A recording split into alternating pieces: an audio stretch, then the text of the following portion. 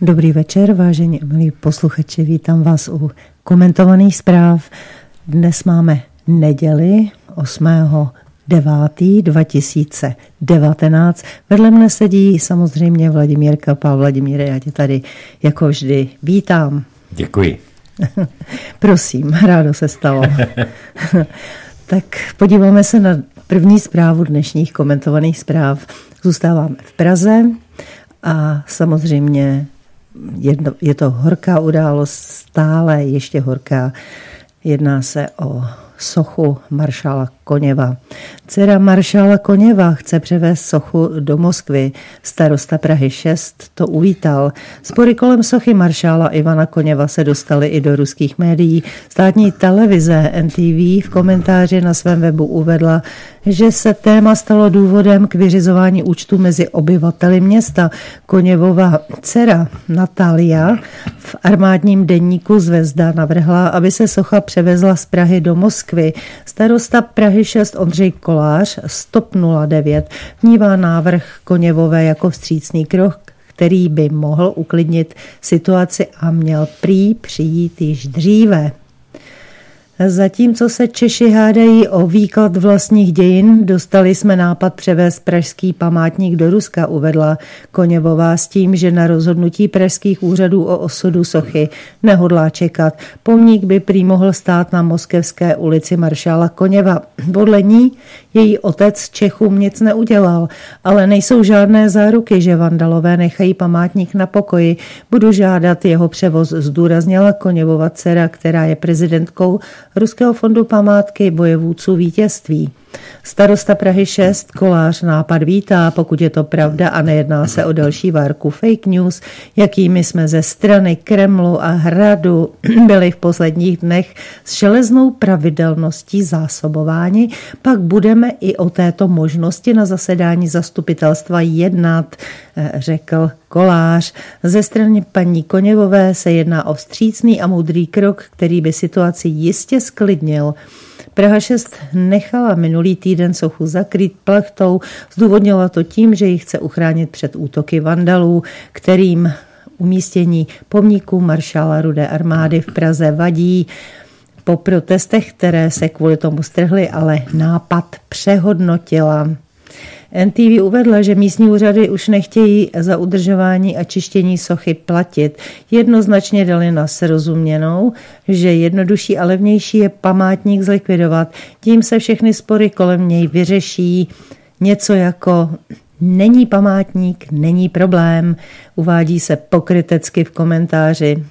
Že Rusko spory sleduje, potvrzuje i páteční komentář ruského ministra kultury Vladimíra Medinského, který v rozhovoru s novináři v Murmansku přirovnal starostu Prahy 6 Ondřej Koláře k šéfovi někdejší místní organizace NSDAP. Ivan Stěpanovič Koněv velel části Rudé armády a osvobodil část Evropy, včetně koncentračního tábora Osvětím na konci druhé světové války.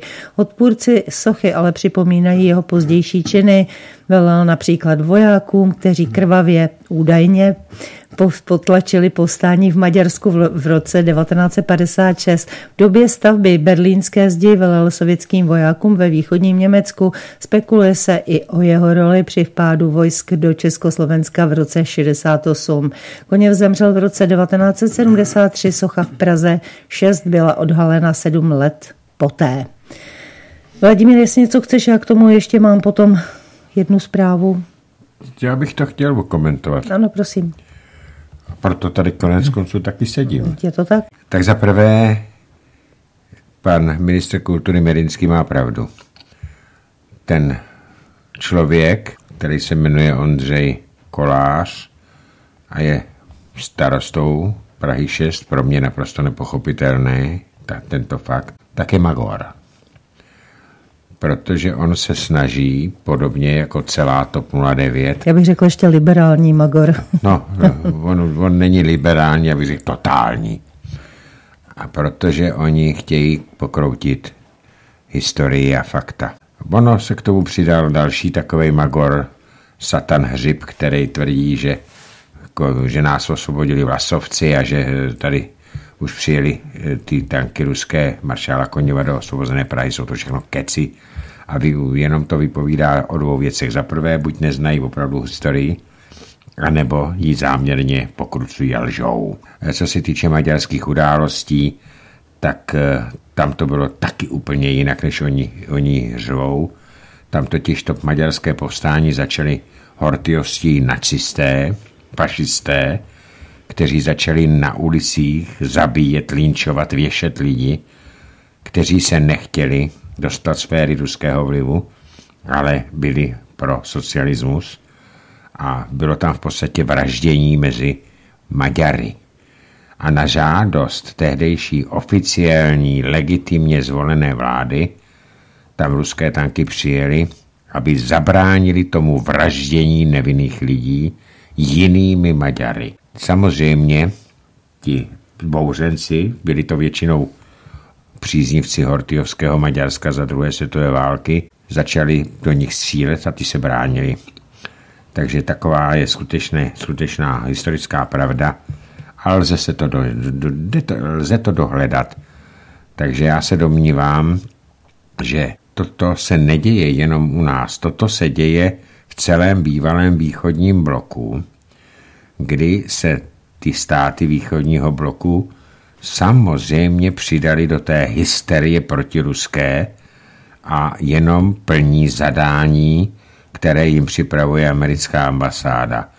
Konec konců o TOP 09 je to velice známé. Takže já jsem jenom moc a moc zvědav, jak dopadne tento pan starosta, až budou příští komunální volby. Ale já, kdyby tam byli na té Praze šest rozumní lidé, protože to tady 30 let nikomu nevadilo, ten vzpomník byl 85. nebo 4. nebo tak nějak. Jo, nějak tak. Tak uh, nikomu to tady od 90. roku nevadilo. Tak najednou teď v rámci protiruských aktivit, tak se to vytáhlo. A já se vůbec nedivím té dceři maršála Koněva, že tu sochu chce odvíst, protože eh, tady pohrdáme tím, že jsme vůbec přežili nacismus jako národ. V podání pana Hřiba, primátora města Prahy, v podání starosty Prahy šef koláře, to tak vypadá. Asi by se mu líbilo, kdyby se vůbec nenarodil, a nebo když už by se narodil a jeho tatínek to přežil někde na Sibiři, tak by tam kácel gulagu někde stromy. No, třeba si říkal, že by se narodil na Madagaskaru, víš, a teď to má za zlý no, maršalu no, Koněvovi.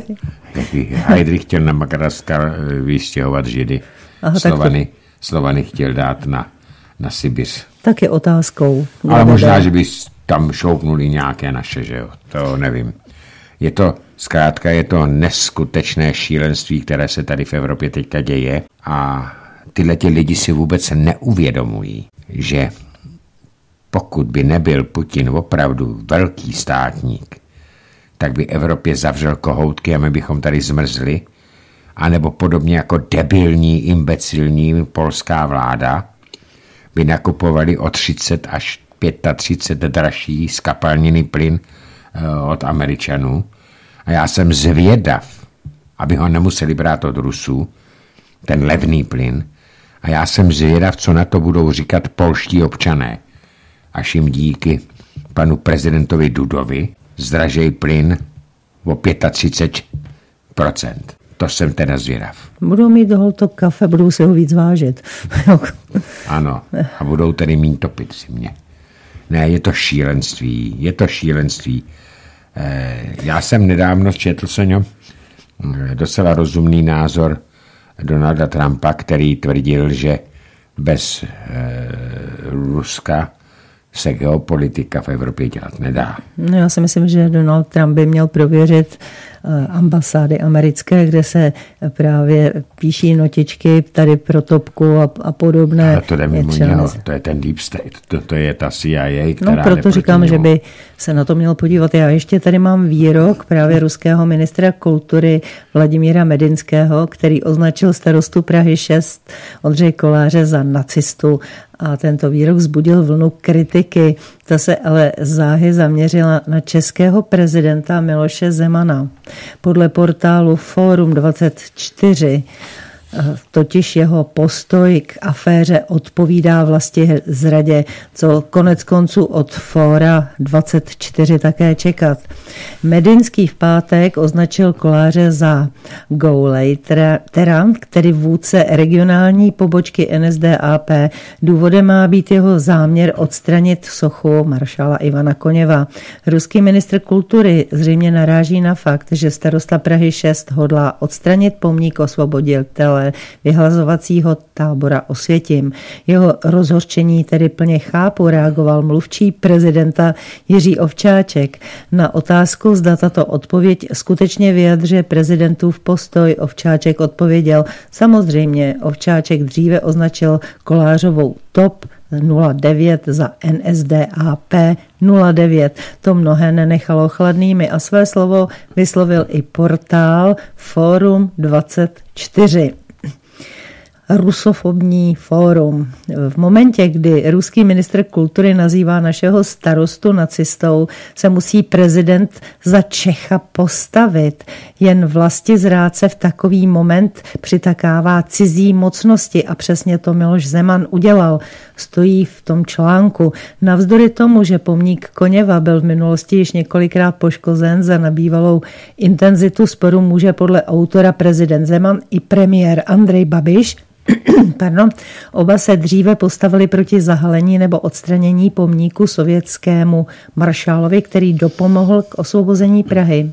Nyní, když se čeští komunisté díky premiérovi a prezidentovi opět podílí na vládě, vylézají z děr pohůnkové Ruska, píše se v článku. Dříve se podobným způsobem vyjádřil i sám Kolář, který kvůli výhruškám za rozhodnutí zakrýt sochou plachtou dostal policejní ochranu.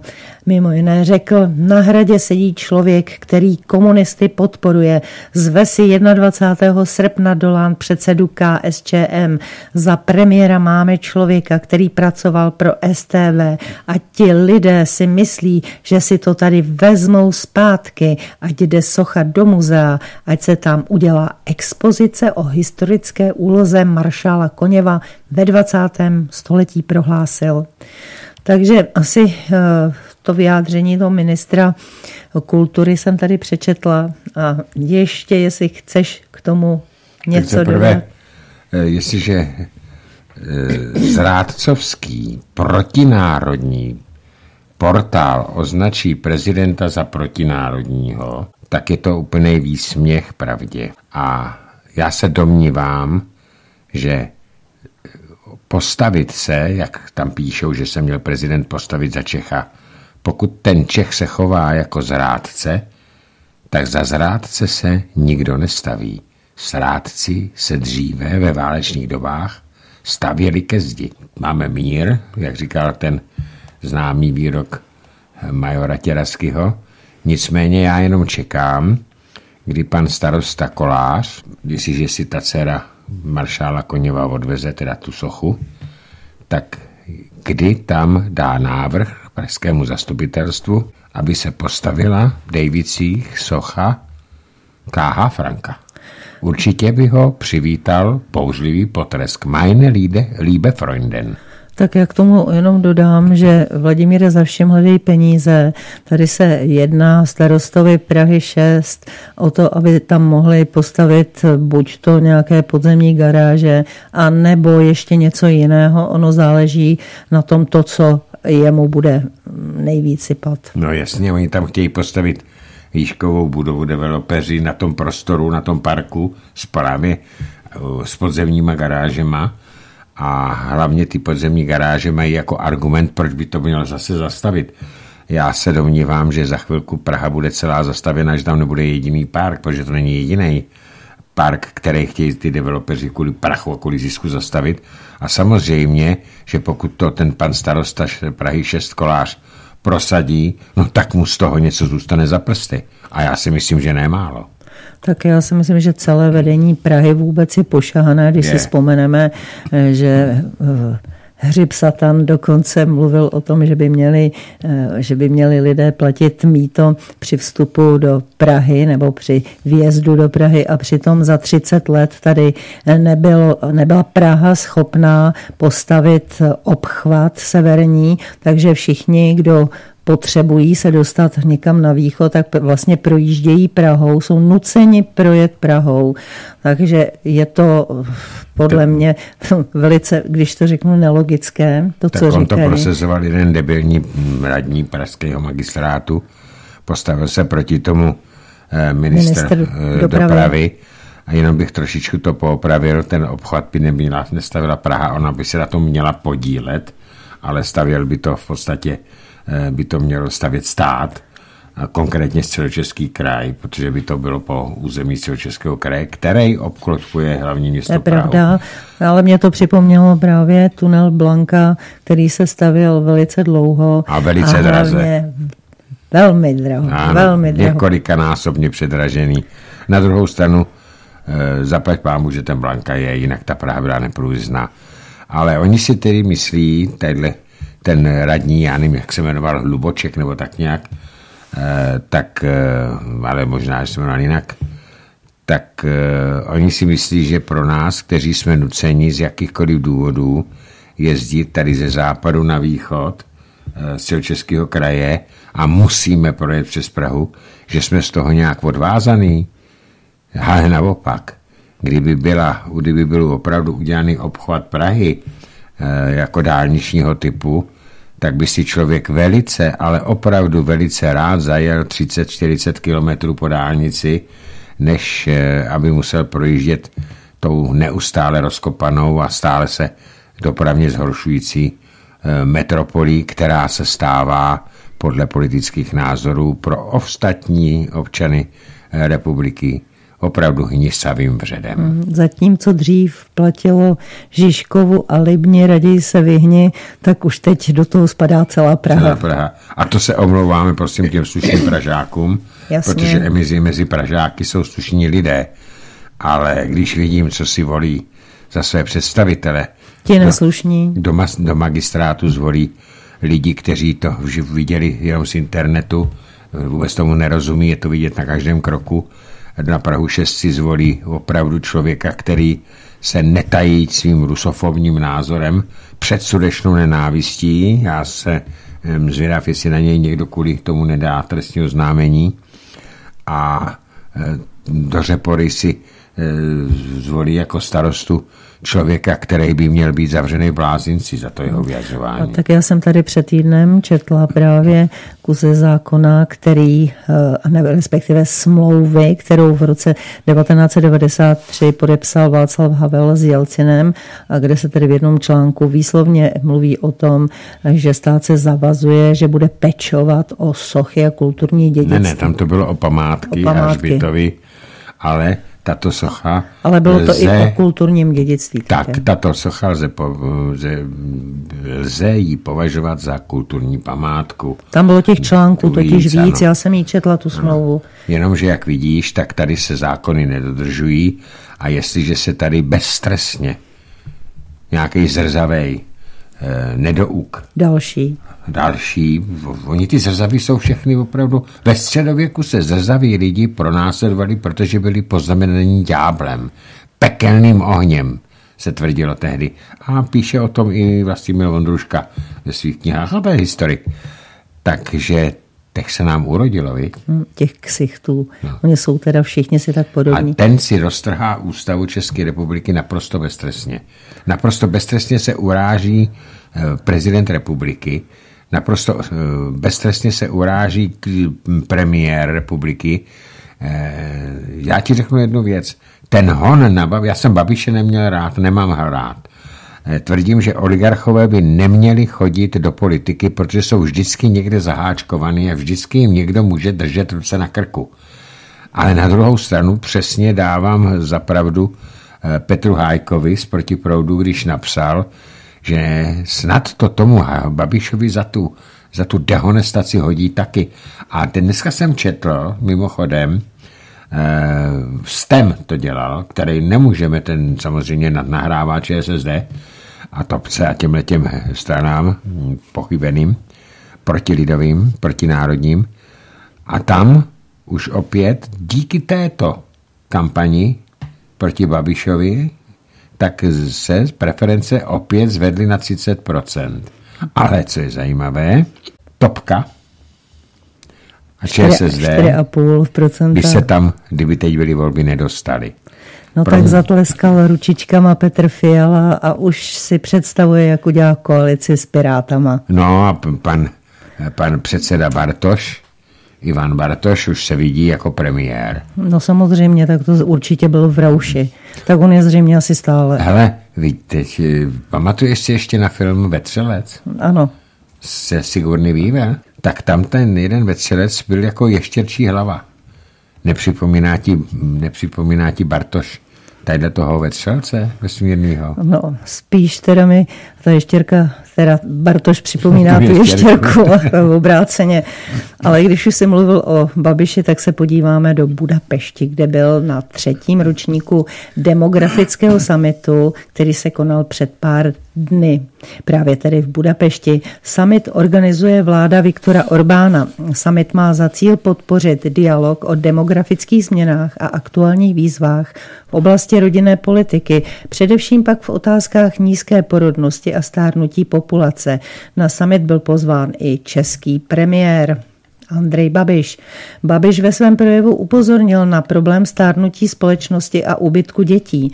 Zároveň vyzdvihl míru porodnosti v České republice, která je v rámci V4 nejvyšší. Andrej Babiš též popsal důležité změny pro zastavení demografického vývoje.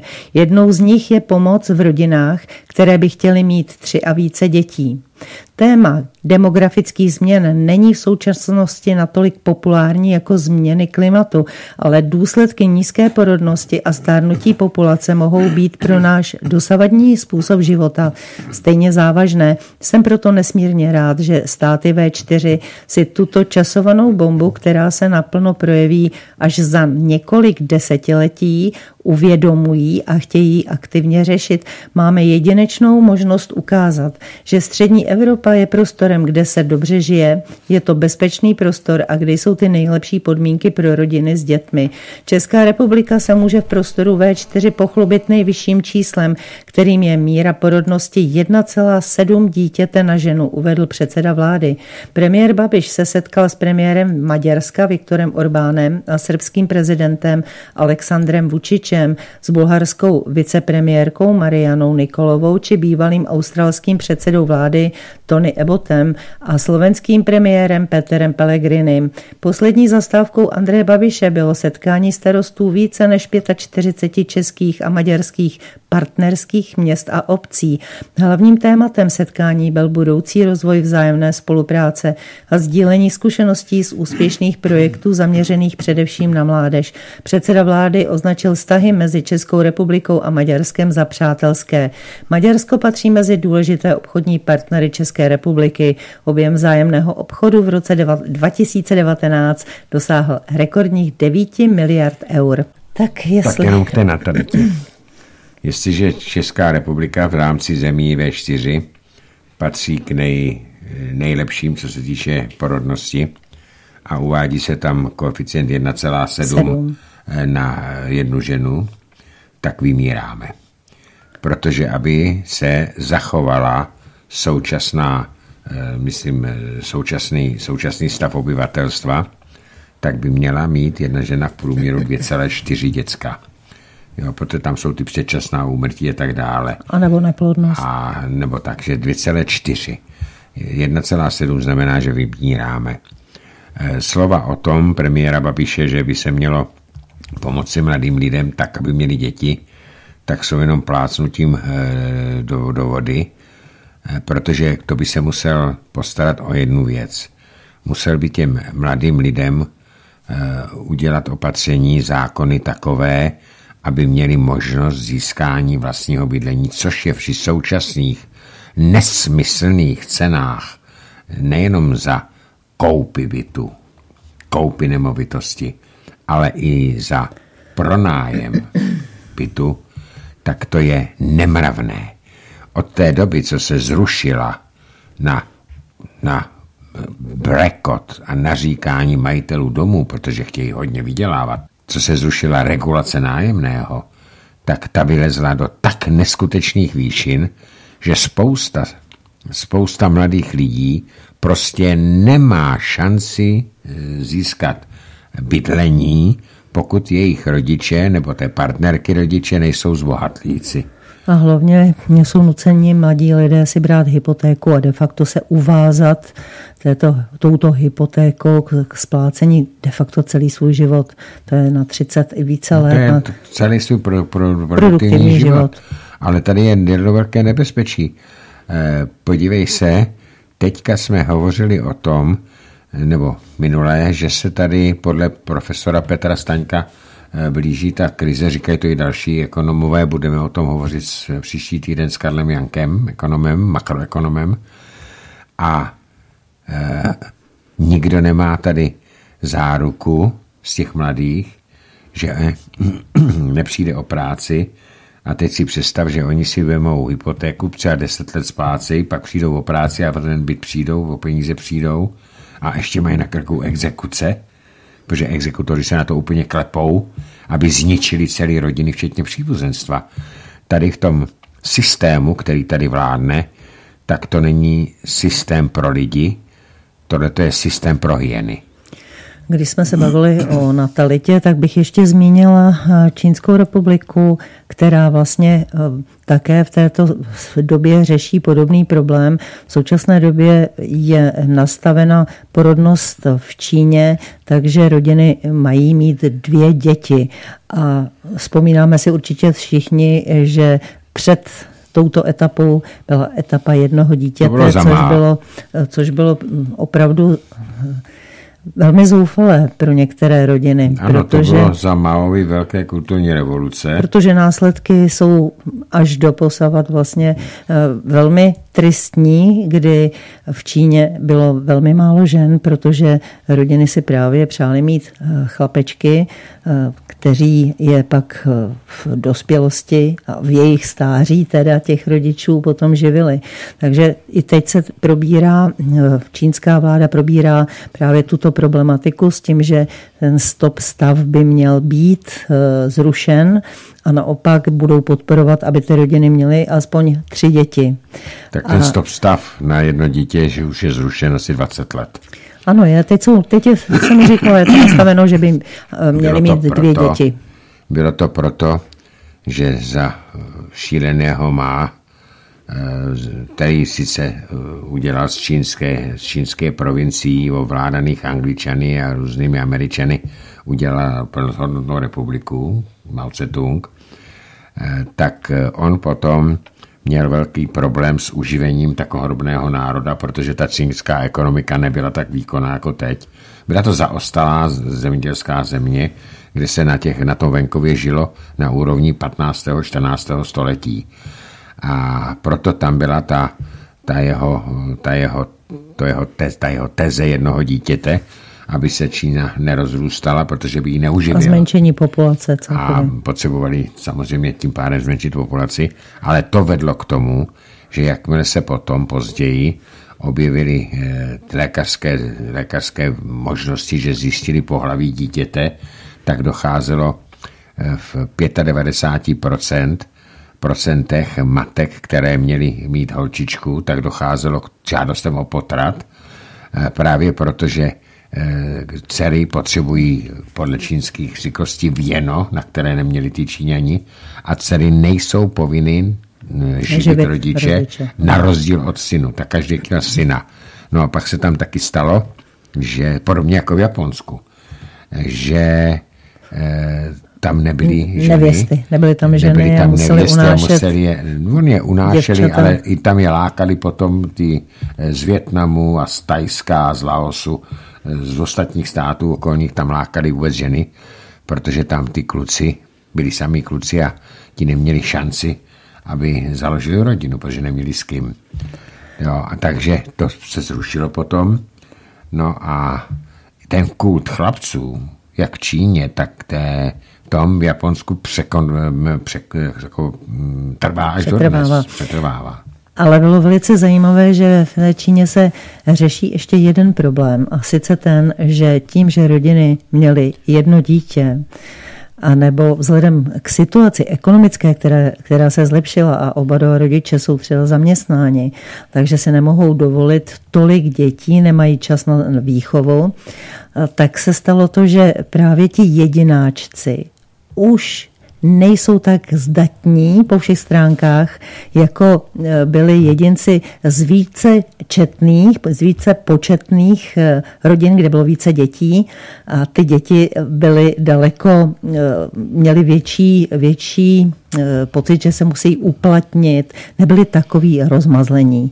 Takže tady ty mazánci teď dostávají učebnice, jak se mají snažit být co nejvíce samostatní a jsou to de facto takové rady pro život, aby se snažili se vzdělávat a tak dále, prostě aby na sobě pracovali a byli schopni převzít potom tu úlohu, že oni budou ti, kteří budou předá, eh, přebírat vlastně to řízení eh, na všech úrovních. Takže to byla taková zajímavá věc, že i tady nad tím se v té Číně zamýšlí, že oni nepotřebují, nepotřebují mít nějaké rozmazlené uh, chlapečky. Toto už bylo známý v České kotlině eh, před 70-80 lety, protože já si pamatuju, že moje babička, mé matce, říkávala, já jsem se to nezažil, já jsem byl malý, ale neholka, když už máš jedno dítě, tak si pořiď ještě jedno, protože když budeš mít jenom jedináčka, tak to bude tak nesnesitelný rozmazený fracek, že se na něj nebudeme moc ani koukat. Tak to se říkalo ještě, když já jsem se narodil, že jo. Takže brácha je o čtyři roky mladší a babička to tenkrát říkala, ale já si to nepamatuju, tohle to mě říkala moje maminka. Takže mhm. tohle je se u teďka. nás v českých zemích naprosto známý. Mamánci, a dneska, jak to dopadlo? Dneska já jsem se tady bavil s panem plukovníkem Víchem, poslancem za SPD, minulý týden ve čtvrtek, eh, o, vojenc, o vojně a vojáci mají problém přijímáním nových eh, ano. zájemců, když si jich tam hlásí hodně. A právě proto se tady, a právě proč? No protože jsou to mamánci. Nesplňují jak psychologické testy, nesplňují především fyzické testy a, a chybí tam morálně volní vlastnosti. Ano. Takže jsou to lidi, kteří se pro tu vojenskou službu, která vyžaduje chlapa, pořádného, opravdu skutečného chlapa, ale nebo taky skutečnou ženskou, takže velká většina těch uchazečů neprojde. Proto se tím, se tím s tím problémem potýká ta armáda. Podobně to má i česká policie státní, protože tam se hlásí hodně lidí, ale nesplňují, nesplňují parametry. parametry. Hmm. S výjimkou městské policie, kam vedou, městské policie, kam vemu každého idiota. Je to vidět. Podíváme se na další zprávu. A stále zůstáváme tady u nás. Hamáček má k zákonu o státním zastupitelství výhrady. Chce je řešit s ANO. Návrh novely zákona o státním zastupitelství Ministerstva spravedlnosti je cestou, jak vyměnit státní zastupitelství během dvou let. Pokud se sociální demokracie s hnutím ANO neschodne na finální podobě zákona, ministři za ČSSD jej nepodpoří a návrh bude sněmovna projednávat jako koaličně nedohodnutý, doplnil. V, pořádku otáz, v pořadu otázky Václava Moravce České televize to v neděli řekl, tedy dnes, vicepremiér Jan Hamáček. V koalici by zákon chtěl Hamáček řešit horizontu jednoho až dvou týdnů. Návrh zákona kritizovali nejvyšší státní zástupce Pavel Zeman, některé opoziční strany nebo občanská platforma Rekonstrukce státu. Připomínky měly mimo jiné k navrhovanému sedmiletému funkčnímu období nejvyššího státního zástupce či k výběru vedoucích státních zástupců. Klíčová jsou podle Zemana přechodná ustanovení, kdy ministerstvo podle nejvyššího státního zastupitelství nehodlá dát nový mandát nejvyššímu státnímu zástupci. Úřad také podle Zemana mimo systém stanovil ukončení funkčního období oběma vrchním státním zástupcům podtitulek Vyměnit zastupitelství za dva roky neprospěje stabilitě. S výhradami podle Hamáčka souhlasí také ČSSD.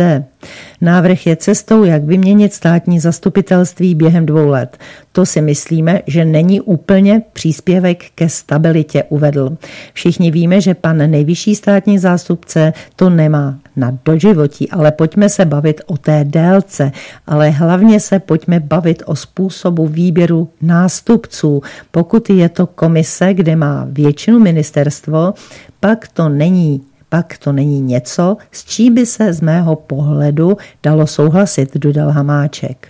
Koaliční smlouva říká, že pokud pro návrh hlasuje minimální minimálně polovina ministrů za obě strany, tak je koaličně projednán a s tím jsou spojeny nějaké povinnosti koaličních stran. Ve sněmovně připomněl vicepremiér. Pokud se na tom nedohodneme, naši ministři to nepodpoří a půjde to do sněmovny jako koaličně nedohodnutý návrh. Pak bude záležet na tom, jak se poskládá případná koalice ve sněmovně. My máme problém se složením výběrových komisí, máme problém s tím, jak rychle jsou tam naplánovány odchody, poznamenal předseda sociální demokracie. Dvě tak věci. Asi má strach. Dvě věci. Za prvé, připadá mi to, jako když myš řve nahoru, ohromnou horu, aby se před ní sklonila, protože z 15 poslanci a pěti ministry nemají ani tu třetinu, protože je 17 ministrů a tam ty ostatní jsou za ano samozřejmě. To je jedna věc. Za druhé, tady se tohleto vystoupení eh, objevilo až poté, co státní zástupce Šaroch eh, zrušil trestní stíhání Andreje Babiše po čtyřech letech a po pečlivém studiu 20 tisíc stran spisu na Čapí hnízdo, 20 tisíc stran textu a proto už před dvěma lety, běží to 4,5 roku ta kauza, před dvěma lety žádal policii o dodání flagrantních důkazů spáchání trestného činu s tím, že by to jinak musel odložit. Policie nebyla schopna doložit žádný další ty, takže teď to mm, pan státní zástupce Šaroch odlož, jako odložil to stíhání. A už se zbouřili všichni, všichni tyhle ti hajzly. Eh, v první řadě právě Pavel Zeman, vrchní hlavní státní zástupce. Bradáčová. A Bradáčová. A už vyřvávali, že to není konečná. Ono totiž, a že by měl rozhodnout pravomocný soud. Ale ono to tak není. Jestliže rozhodne soud v jakémkoliv případu, že je ten člověk nevinen, protože nebyly dodáno dostek důkazů policií nebo žalující stranou, tak tam pořád je stín pochybnosti na tom, že ten dotyčný žalovaný spáchal trestný čin, jenom mu to nebylo možné prokázat. Jenže jestliže to udělá žalobce, státní žalobce, který řekne, že tam že to odloží, protože tam nebyl spáchán trestný čin, tak to má mnohem větší váhu, protože to naprosto toho žalovaného, potenciálního žalovaného, totálně očišťuje. A to se přece v případě Andreje Babiše e, nedá, e, nedá takhle nechat.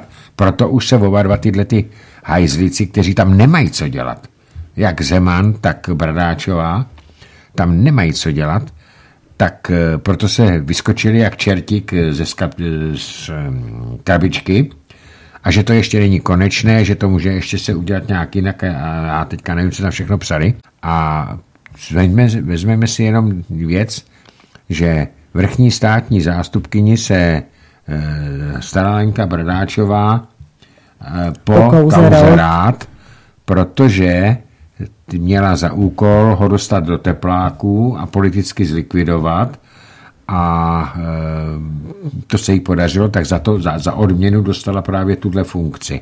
A mimochodem, e, tady se pořád stále se říká, že, že je to vinen David rád, že se vyhýbá to. E, víte, já ho taky nemám rád. A nikdy jsem neměl Davida a rád ještě, když byl předsedou lékařského odborové komory. Ale já jsem viděl některé, měl jsem to, to štěstí, že jsem viděl některé materiály z té kauzy a tam přece byly po, odposlechy, jak tam počítá peníze z té, z té krabice na víno. A teď si představte, že se tam nenašel jeden jeho, jeden jediný otisk prstu. A to mám přímo od policie. Ten člověk už tam nedělá, ale byl u toho. Já bych ještě jenom zmínila... Politická kauza ty dotace, kdy je uh, Babiš obžalován, že chtěl poškodit Evropskou unii. V rámci čerpání evropských dotací, v rámci, uh, to byl systém ROP, se tlačilo na firmy, aby právě e, firmy s e, menším počtem, to byly ty malé firmy do určitého počtu zaměstnanců, aby, aby žádali právě o dotace z Evropské unie, aby tyto dotace, ty peníze, které nám byly přislíbeny, tak aby se vyčerpaly. A právě Andrej Babiš měl tedy, vytvořil firmu, která odpovídala těmto parametrům a požádal o dotaci 50 milionů. Všechny dotace schvalovalo ministerstvo eh, financí právě přes komise speciální, které potvrdili, že a schválili toto, tuto dotaci. A poté stát vyplatil eh, této firmě Andreje Babiše, byť teda byla napsaná na jeho ženu a tak dále, tak vyplatil 50 milionů. A ještě než vlastně stát dostal tady ty peníze z Evropské unie, došlo k tomu, že byl, že byl Babiš obviněn z toho podvodu a tak dále a napaden Kalouskem, který de facto byl v té době ministrem eh, financí. financí a Andrej Babiš ty peníze vrátil státu. Ano. Nicméně byl obžalován a na tomto... Nebyl obžalován. Dobře, tak byl obviněn. Byl na něj nebyl obviněn. Byla na něj podána žaloba. Trestní oznámení. Trestní oznámení. Tak dobře, tak to upřesnil. Bylo na něj podáno trestní oznámení. Ale ono, když se na to podíváte, tak peníze byly vráceny. Nikdy nedostal žádné peníze od Evropské unie na eh, to čapí hnízdo. Takže co s tím udělat? Když jedna strana tady tlačí, to je v podstatě politický tlak, který tady byl z té druhé strany, z toho druhého klanu vyvíjen právě na Babiše. To jsou ti, kteří stávkují a tak dále a jsou de facto vedeni loutkovodiči. Podívejme se, kdo na těch demonstracích eh, vystupoval. Kalousek, který vlastně tuto eh, dotaci schválil Babišovi, ale teď už se mu Babiš nehodí, protože je pro ně nebezpečný. Takže asi to je to gro, o co tady jde, že se tady přetahují dvě strany, mocenské strany a ta, která není u lizu, tak právě dělá všechno pro to, aby vystrnadila a poškodila tu druhou stranu. Tak já řeknu fakta. Zpráva OLAF opravdová zpráva OLAF, skutečná oficiální zpráva OLAF hovoří o tom, že nebyl spáchaný podvod, nikomu nevznikla škoda, všechno bylo OK. Tak a to je to. To je ten největší fakt. Druhá, druhá věc. Celé tohleto divadilko kolem Čapího hnízda ze strany debilizačního bloku a milionu chvílek je jenom proto, majdanizovat výsledky, legitimní výsledky voleb. O nic jiného nejde, než zrušit výsledky voleb a za každou cenu dostat vítěze z voleb z funkce. Protože podle legislativy České republiky, stejně tak jako Slovenska, člověk, který je ve sněmovně nebo ve státní funkci, jakmile je trestně odsouzen za trestný čin, ztrácí mandát. O to tady šlo od samého začátku.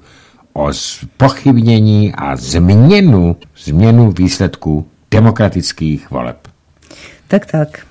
Podíváme se na další zprávu. Tentokrát to bude divadlo kolem Brexitu.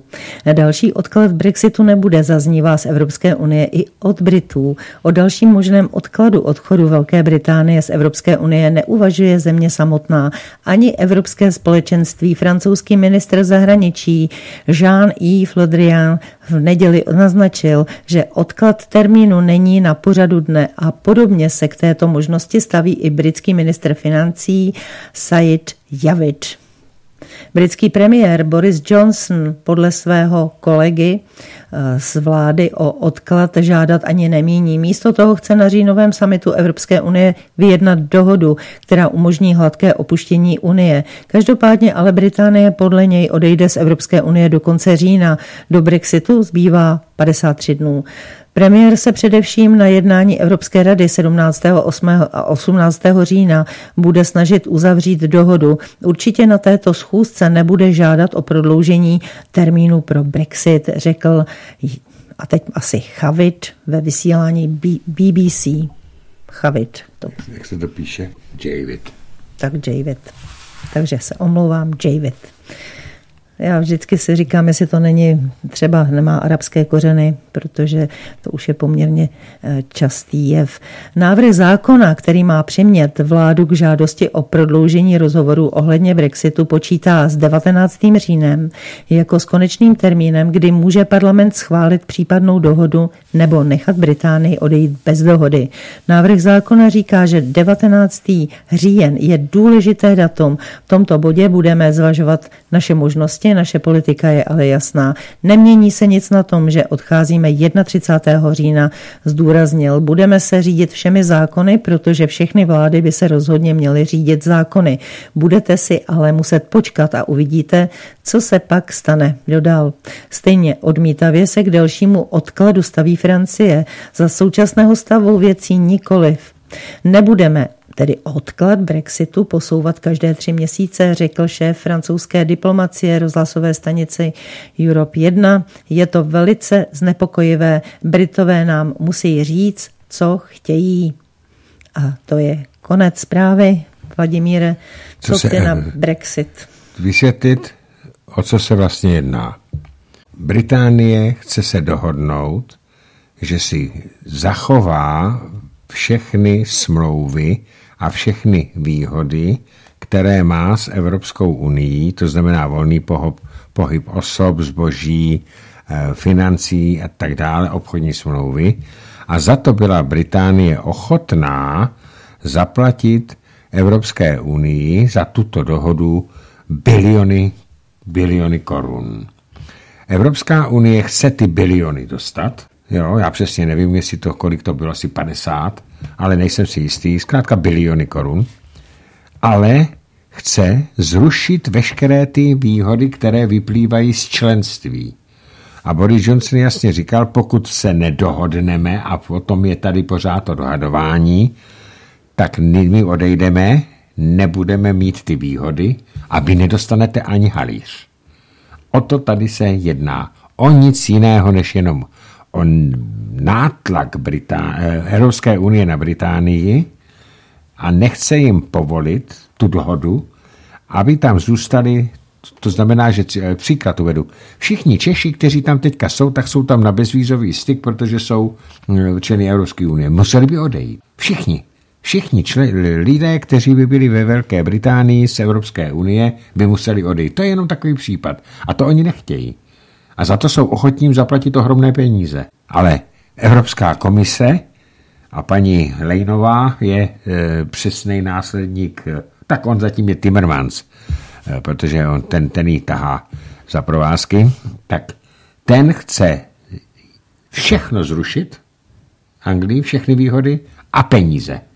Ale to Boris Johnson řekl, pokud nám ty, tu dohodu, ty výhody, které teda máme, nenecháte, nedostanete nic.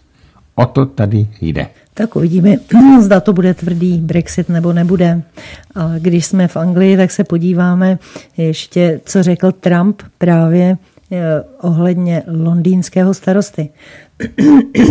Pardon. Trump si podal muslimského starostu Londýna a řekl o něm, že je stroskotanec, který by měl řešit zločin ve městě a ne mě. Ještě předtím, než letadlo s americkým prezidentem přistálo v Anglii, označil muslimský starosta Londýna Sajid Khan Donalda Trumpa za fašistu 21. století. Odpověď byla rázná. Trump označil Kana, který dlouhodobě neúspěšně bojuje s narůstajícím násilím ve městě, za stroskotance, který by se měl koncentrovat na zločin v Londýně a ne na kritiku prezidenta nejdůležitějšího spojence Velké Británie. Není to poprvé, co si Donald Trump věl do vlasů se Sajikem Khanem. Ještě v době, kdy teprve kandidoval na prezidenta, Khan označil Trumpa za ignorantského vůči islámu. A tam je celý problém. Trump je protimigrantský, protiislámský, proamerický a je, obhajuje bílou rasu. Má moje sympatie. Khan je džihadista. To se, když se stal starostou, tak, to bylo, tak se to publikovalo veřejně, že propagoval a byl obdivoval džihad, svatou válku. A je jasné, že on jako muslim nebude vítat člověka. Obama, to by bylo něco jiného. To by bylo něco jiného, přesně. Nebude vítat člověka, který je proti migraci a chce ji omezovat. A co se týče toho násilí v Londýně, to není jenom v Londýně. To je po celé Británii, ve městech, kde vládnou muslimové. A ono to je po celé západní Evropě, ten, ten, to násilí. Třeba ve Švédsku, v Norsku, ve Francii, v Německu. Všude, všude, kde si pustili myslí muslimy. A teď toho chce využít Erdogan a tvrdí, že tam má 3 miliony 3,5 milionu. 3,5 milionu migrantů a že jestli eh, nedostane zase Peníze. nějaký prachy, už dostal už asi 30 miliard eur. Takže je sem pustí. No tak eh, tohle to všechno je vina Evropské komise, Evropské unie a především Angely Merklové. Ano, Evropská unie je velice slabá. Není schopná řešit naprosto některé ne, ona, problémy. ona řeší zadání na zničení evropské civilizace. Podívejme se na Angelu Merklovou, jak si dělá uh, vždycky tu pyramidku. Ano, tak ano, jasně. To svědčí Teďka o tom, někde zase byla, teďka někdy byla na nějaký státní návštěvě a zase seděla při hymně. Mm-hmm. No, myslím, že to bylo v Japonsku. No, já ano. nevím přesně, kde, to si nepamatuju. Já to jenom zahlíd, ale vím, že tam byla tam fotka, jak zase seděla. Ano, myslím, že v Japonsku. Tak podíváme se k našim sousedům na západ. Němci se bojí budoucnosti.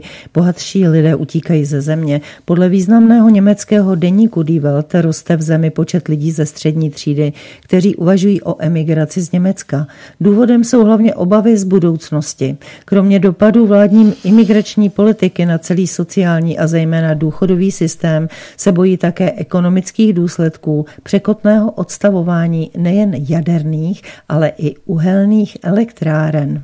Autor článku, hlavní reportér listu Ansgar Graf připomíná, že v roce 2018 odešlo z vlasti 261 tisíc Němců. Víc jich bylo jen v roce 2016, kdy v Evropě vrcholila migrační krize. Před rokem 2015 byl počet Němců odcházejících zejména do zemí, jako jsou USA, Švýcarsko, Kanada, Kypr nebo Malta, vždy nižší než 200 tisíc. A před rokem 1991 odcházeli natrvalo z Německa jen jednotlivci. Podle neoficiálních zdrojů byli mezi německými emigranty před rokem 2015. Stovky milionářů ročně. V roce 2015 jich ale odešlo už kolem tisíce a o rok později ještě čtyřikrát více. Mimochodem, tito milionáři jsou většinou podnikatele, kteří poskytují práci, poznamenává k tomu Die Welt. Němci podle článku soudí, že sociální stát nevydrží masivní imigraci a ekonomika nejvyšší ceny elektřiny v Evropě, které Německu přinesla energetická politika vlády Angely Merkelové.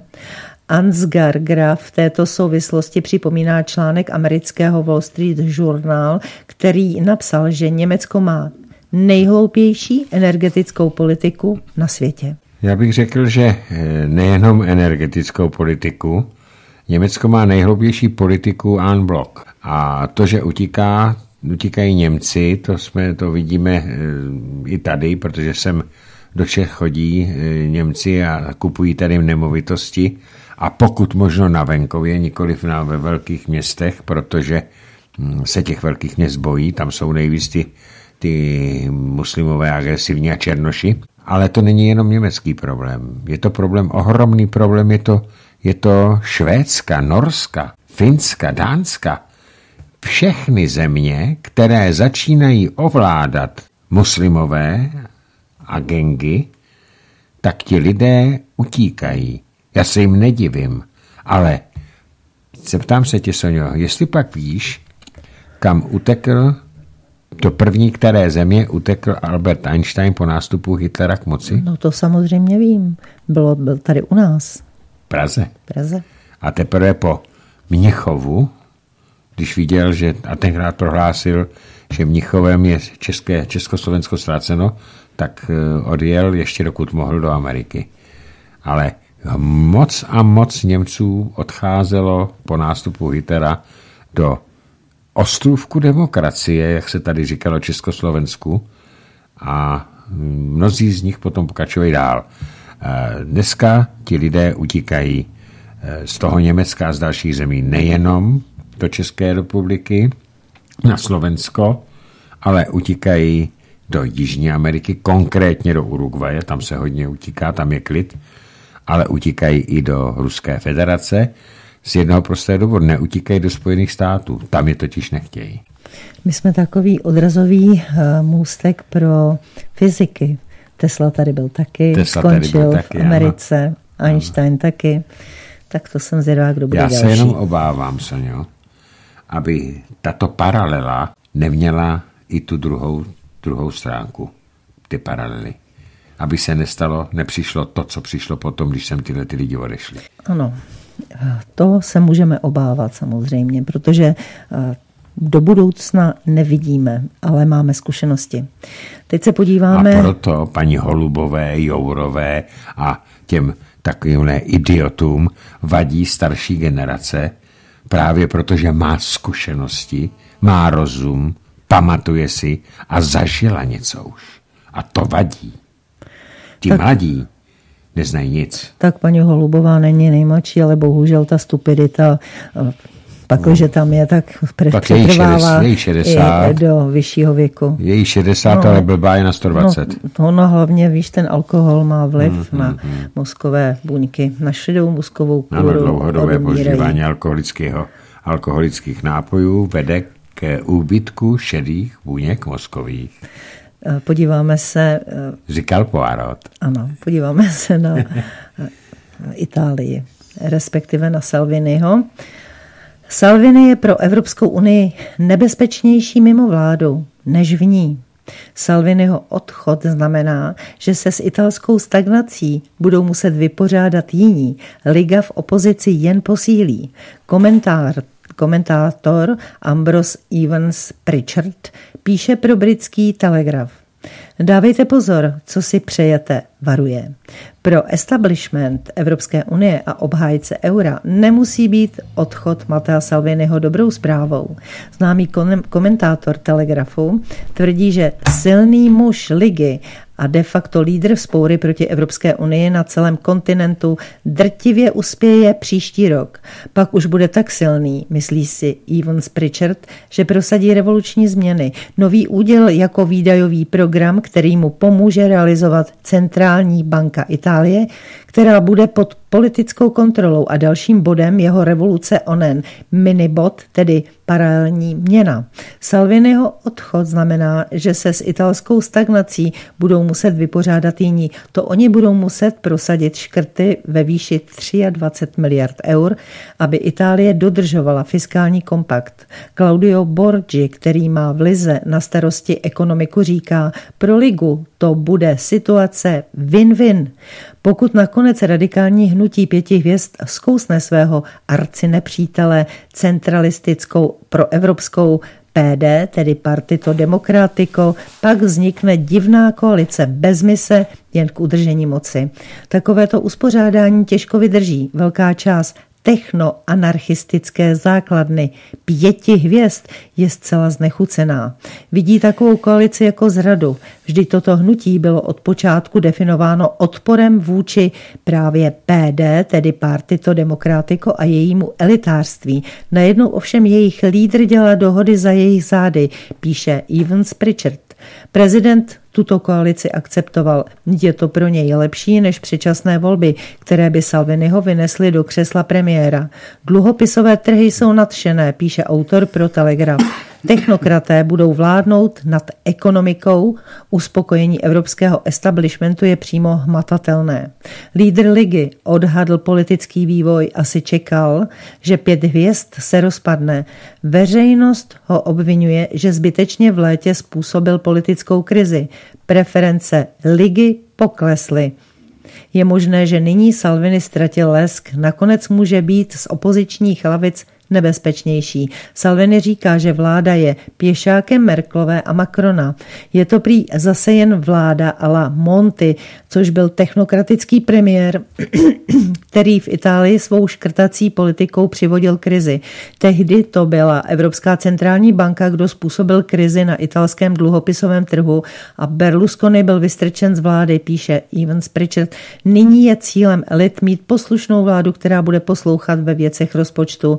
Italské HDP je 5 procentních bodů pod vrcholem z doby před Lehman Brothers, tedy touto krizí. Ekonomika se zase potácí na hranici recese. Poměr dluhu k HDP roste a je pro zemi, která nemá vlastní měnu, neudržitelný. Italské nominální HDP by muselo růst asi 2%, aby dluhový poměr byl stabilní, jenže místo toho je podstatně nižší a může dál klesat, protože eurozóna padá do deflace. Evans Pritchard se ptá, kdy se to začne vařit. Aktuálně jsou výnosy hodně dole a i špatné dluhopisy mají negativní výnosy. Italský dluh vypadá v uvozovkách lacino, ale bylo by nebezpečné se na to spoléhat. Nová vláda pěti hvězd a PD možná zjistí brzy, že bude muset zvládat světovou recesi. Světový obchod se snižuje, varuje autor. Tak nějak se ví, že Evropská centrální banka je impotentní. Jít do sazby, které jsou nyní na mínus žádná celá 4%, pak to udělá víc škody než užitku. Fiskální stimul je v nedohlednu. Severní země s ním nesouhlasí a Německo půjde expanzivní cestou jen v případě skutečně hluboké recese. Akademici říkají, že Itálie má problém na trhu práce, nemá nabídkové reformy a nefungují soudy. To je pravda, píše Evan Pritchards. Produktivita v neobchodovatelném sektoru se od roku 1992 snížila o neuvěřitelných 15 procentních bodů. Když už je země v takovém stavu, pak je potřeba drastické akce. Evans Pritchard píše, jak na to? Domnívá se, že Itálie potřebuje šok, devalvaci o 30% vůči státům D marky, snížení dluhu restrukturalizací, fiskální expanzi, kterou ochrání kapitálové kontroly. To je takový program ala Mezinárodní měnový fond, tedy po opuštění eura. Jenže tam Itálie není, stále euro má, to znamená, že toto euro potáhne e, Itálii, její hospodářství ke dnu. Vladimíre, já už to nebudu dočítat, protože myslím si, že to, to nejdůležitější jsem tam přečetla. To je jeden pohled na to, že e, tím, že odešel Salvini, tak e, italská ekonomika poklesne, to je jeden pohled. Druhý pohled, a dávám zapravdu tomu, já nevím, jak se jmenuje, Ivanovi, že, Richard. Richardovi, že odchodem do opozice Salvini mm, jako získá. On ztratil, přechodně ztratil, ale protože, co si budeme počítat, on, já už jsem to tady říkal, on si se domníval přesně to, co se domnívali v 48. roce naši mm, pravicoví politici, že když dají demisi, že budou nové volby a oni to vyhrajou, opak byl pravdou, volby se nekonaly a mm, dostal se... Nepočítal s takovou zradou. A nepočítal se zradou pěti hvězd, co se dalo mm-hmm. počítat, ale je tam pravda ta, že to bude stát Evropskou unii moc a moc peněz. Protože uvědomte si, co řekla nová ministrině obrany, ta italská, že nyní se vydá Itálie na novou cestu. Na cestu zpátky do Evropy, a otevře své brány do kořán přílivu migrantů. A teď si vezměme, jaké normy nastavila Evropská komise, Evropská unie pro státy, které mají imigranty. Jakou výši financí musí ti migranti, aniž by hnuli prstem u nohy, dostávat. 880 euro. To, že se tam teďka přivalí, já se obávám, že tam přijede milion lidí, protože Itálie je první s Řeckem, s Řeckem hmm. na ráně, tak z toho bude mít Evropská unie mm, zamotanou hlavu, za prvé. Za druhé, Itálie bude požadovat, aby si ostatní státy převzali část těch migrantů a tím se dostanou ty státy do dalších ekonomických problémů, protože zásluhou Mezinárodního měnového fondu jsou všechny státy světa, které se tomuto zločinnému spolčení podvolili, jsou zadlužené, jsou ovládané Mezinárodním měnovým fondem takže se budou zase více zadlužovat. Teď se podívejte, my v době prosperity e, máme 40 miliard schodkový rozpočet. A to tady vláda tají, a Hamáček tají, kolik tady máme opravdu těch migrantů. Tak on to neví, Vladimíre. Ale on to ví. Já myslím, Já že si nemá myslím, přehled. že to ví, ale tutlá to. Nemá, teď má oči, teď to vidí. Teď se podívejte do každého většího města, tam jsou. Ty si myslíš, že on tam chodí, nechodí? Tak asi tam ho vozej, ne? Jo, tak a jestli to neví, tak je ještě blbější, než jsem myslel. Ale tak nevíme, kolik jim platí. Protože jim musí něco platit těm lidem. Ty do práce nechodí, když to vidíš, my jsme dopoledne jezdili a tam poflakujou furt. Z čeho žijou? My je platíme. Takže to bude, to je ten problém, že tím, že ostavili Salviniho. Salvini byla hra proti těm migrantům.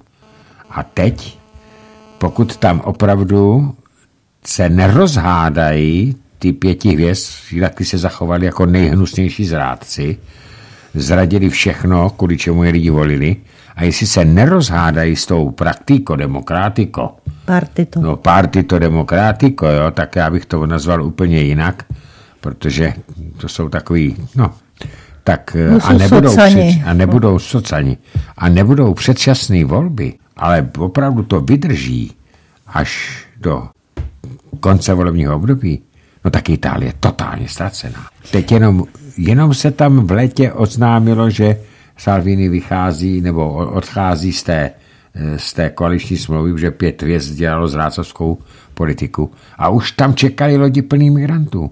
Už tam jedou. No tak tohle všechno probereme v úterý, protože v úterý tady bude o 19 hodin eh, Monika Pilony, takže se dozvíte internější informace a fundovaně podané, protože ona je členkou Ligy, teda Ligy. Tak eh, ještě jsem chtěla snad k tomu dodat, že ta nová vláda, to bude skutečně vláda odborníků. Já jsem se měla možnost podívat na fotografii nové ministrině zemědělství a rybolovu. Je to paní, která nemá vůbec žádné vzdělání. Vypadá, jako kdyby právě přišla z tržiště. A nebo ze záchoda, kde dělala uklízečku. Nebo, no, nebo hajzlbábu, že Ano, tam dělá skutečně. nemá naprosto žádné vzdělání. Přímo jsem se ulekla. Ani střední školu, nic. Takže to bude skutečně odbornice na Ano. slovo vzatá, aby potopila Itálii. A tak ona nebude nic rozhodovat. Oni Je to řeknou, figura, Je jenom. to figurka, no jistě. Ale aspoň to vypovídá o úrovni těch lidí, kteří teď chtějí vládnout Itálii. Tak a to je všechno ode mě. Dobře, takže vážení a milí posluchači, to je konec komentovaných zpráv. Já vás samozřejmě ještě zvu na další zprávy od Terezy Spencerové, které se budou týkat nejenom Ameriky, ale také Blízkého východu a dozvíte se tam i něco o Erdoganovi. A poté samozřejmě vás ještě čeká načtený článek pana Otavy o naší ústavě, která byla v bohužel na letné roztrhána, co také jiného bychom mohli od mináře čekat. Takže tolik, všechno ode mě. Já se s vámi loučím, přeji vám příjemný zbytek dnešního dne. Zítra vykročte tou správnou nohou a těším se, že se brzy uslyšíme a v úterý si nenechte ujít Moniku Pilony. To je ode mě všechno a já se s vámi loučím. Naschledanou. No a já tady budu mít poslední slovo. Prší. A když prší, tak se dobře spí. Takže dobrou noc. Dobrou.